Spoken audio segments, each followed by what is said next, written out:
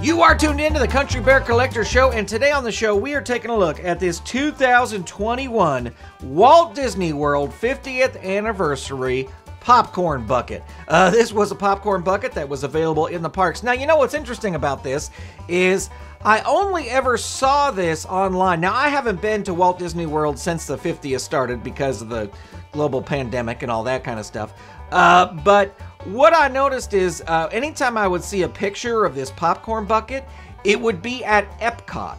And um, I would have to think that it's available other places at Walt Disney World just because it has icons from all the different parks on there. I mean, you know, there's the, the Tower of Terror and the Tree of Life, etc. Uh, but I only ever saw this as being available in uh, Epcot. But uh, you know, uh, it, it, I would assume that it's available any elsewhere. Uh, anyway, so as we spin the bucket around, you will see that it's got all sorts of Disney characters. It says Walt Disney World 50th. It's got our friend the Orange Bird there. Uh, and then look right there, uh, hanging out with Goofy is none other than Henry from the Country Bear Jamboree. I think it's really cool that they put Henry on this uh, on this, you know, popcorn bucket. I think it's just, I don't know, there's something about, uh, you know, they have all these like really important characters on here Mary Poppins, you got Simba, you got Dumbo, but the only, I'm thinking here, let me look and see. Well, Figment, Figment is from an attraction, uh, but I think only Figment and uh, Henry are the only two characters from an actual attraction. I guess Dumbo sort of is too, but I mean, everybody else here had a movie you know? And uh, Henry and Figment are two kind of characters created just for the parks, if that makes sense.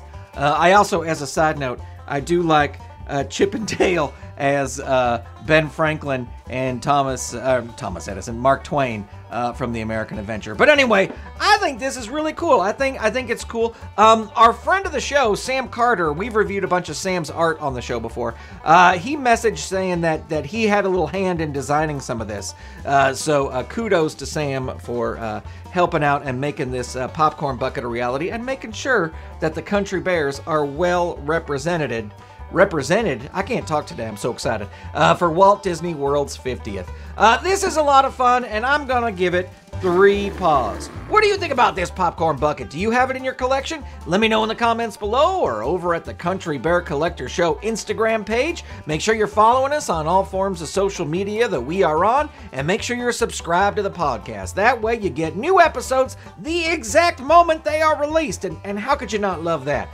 Thank you so much for tuning in, and we will talk to you next time right here on the Country Bear Collector Show. If you enjoyed the show, give us a like and click the subscribe button. If you'd like to see the show continue, consider supporting Saturday Morning Media via Patreon at patreon.com forward slash Saturday Morning Media.